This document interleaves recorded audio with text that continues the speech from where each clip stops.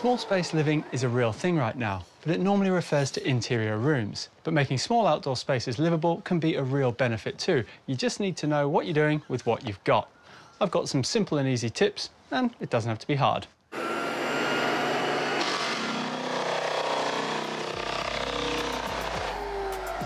Oh, wow. Makes a difference, doesn't it? Fantastic. Yeah. Much better. Australia, this is Sharon. This Hi. is her house. Look, it's a, it's a small space. It's not particularly nice, but it does have potential. Good. Yes. What do you want to see changed, and how do you want to use the space? Okay, so right now, as you can see, there's nothing much I can do with it. There's no space. There's a dirty great washing line in the way. I'd love to be able to entertain, get rid of some of the crazy feral foliage over there. Yes, and perhaps the brown fence can go. Hate the brown fence. Yeah, good. Absolutely Yeah, we'll hate fix the that. brown fence. Yeah. So when you've got a project like this, the best place to start is to rip it all out. Okay, But good with me. you're going to help me. Show me where to start. Okay, let's I'm get all to yours. it. Oh, We planned that. good work. We did. Look at that.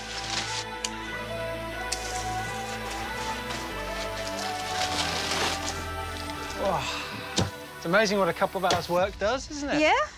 You had pretty much all the wrong plants for a small space in here. It wasn't me. A jasmine that had completely taken over. Big Strelitzia palm, they look great when they're small, but they just keep getting bigger and bigger. And yep, they had to go.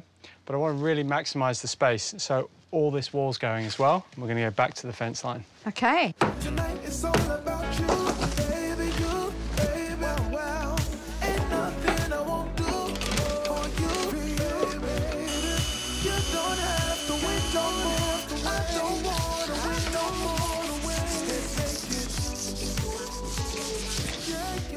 Yeah. Need a hand? Come to help. I have. I know you don't like the brown. We're not sanding it off, don't worry. Like, it's not like the deck. We're just giving the fence a little bit of a key, so when we do paint it, it sticks to the fence, doesn't just flake off. It's really important with a metal fence. Right. And the colour, as you can see down here, is quite a dark grey. Okay. Now, I I selected this for a couple of reasons. One, if you, your eaves and your guttering are already in a grey, so it will tie in nicely with those. Okay. And secondly, having a dark colour on the fence is going to make all the greenery we bring in really stand out. Okay, need a hand? Yeah, well, the sanding is finished, so I'm going to leave you to paint. and Okay. I'm going to get on with some paving. Cool. can see you turning, turning. But my words are never enough to keep you here. See you hiding, hiding. My love, what can I do? For the area off the kitchen, we're going to be putting in a barbecue, and for that we need a nice solid base. So I'm going to put down some paving. The base for our paving is this crusher dust with cement mixed through it. We're just going to compact that down, I'm getting it as level as I possibly can because that makes putting the paving on top much easier.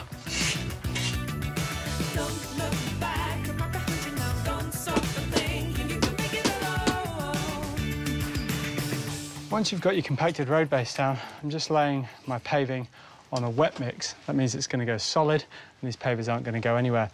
I'm leaving a bit of a gap for some pebbles as well, because by adding some textural interest to the edge of the garden, it draws the eye out and makes it feel bigger.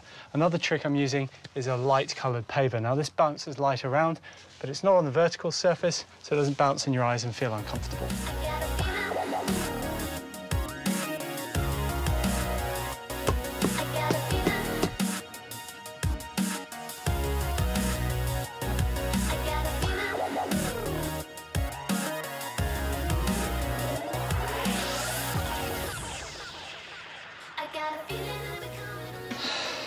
So the deck, the easiest thing to do to it would be just to paint over it, but it would look really flat and boring. And because you've got a small space, we want to add as much interest as we can.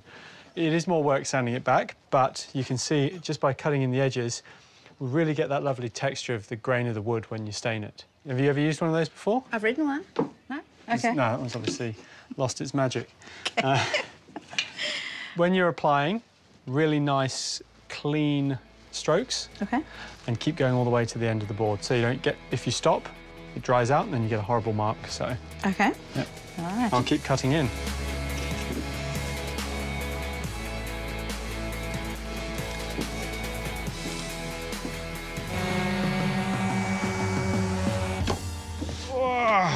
Oh, wow.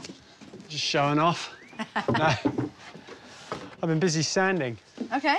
Nice smooth timber. I'm thinking we're going to have a bar outside the kitchen window, like a servery, and then it's going to wrap around here. So Loads of room for a table and chairs, but when you're entertaining a lot of guests, you've got extra space. Right. Good. Excellent.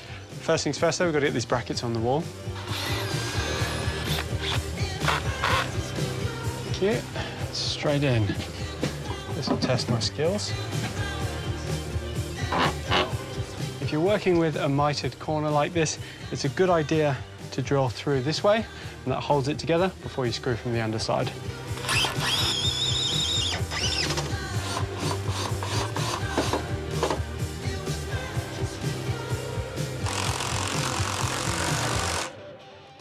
I'm building a couple of planter boxes in this garden and for different reasons. This one to house our golden cane.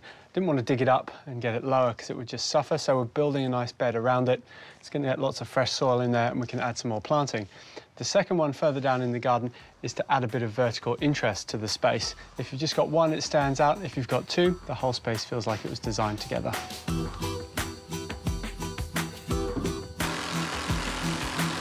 You'll notice with the sleepers I've used, I've just given them a bit of a light sand to soften the edges, and that ties them in nicely with the bar.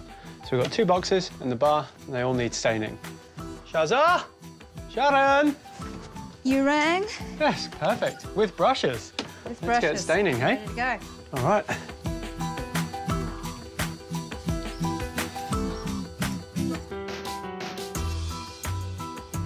If I was to stain all the timber in the dark charcoal, it would just get lost and you wouldn't see any of the features. Just using a clear coat on this treated pine, it's really going to bring out the grain and make the most of the timber work.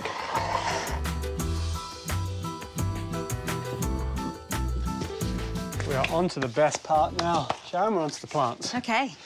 So I've started with some golden canes because you've already got one, so it makes sense to, to match them in. They're going to give us vertical height and give us a little bit of privacy back. They're also really good bang for buck, so they don't cost much for how big they are because they oh. come in a small pot. So they're going to anchor us against the fence, and the rest of the planting is a combination of texture and green to go with our nice dark fence. So it's really going to stand out in front of that. Always start when you're setting out with the biggest ones and then work down to the small ones. Perfect. Okay. Any questions? Nope, let's All go. right.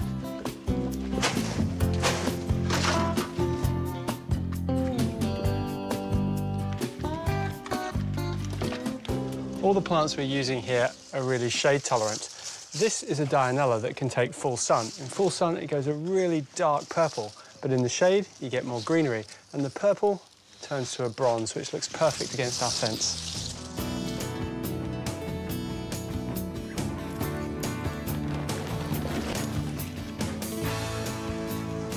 This lovely little fern is called Blue Star.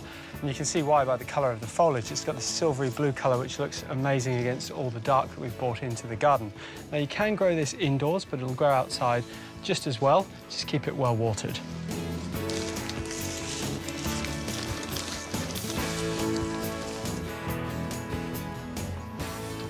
So as nice as your old clothesline was, it was at that sort of decapitating height, wasn't it?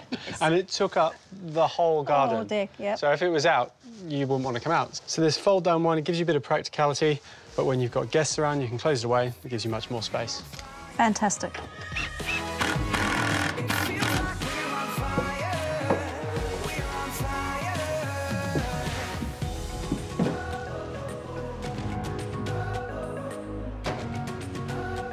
So Sharon, just a few really simple jobs done in the garden, and it feels much bigger, doesn't it? Such a transformation. I feel like I've got my own mini resort.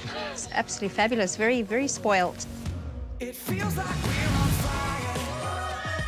Well, you've got the bar, you've got the servery, bench seating by a barbecue, still got plants, still got washing line, table and chairs, and plenty of space.